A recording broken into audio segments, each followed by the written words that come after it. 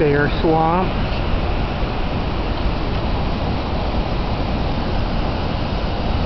Look at the difference in the height of the water behind the dam and then in front of the dam.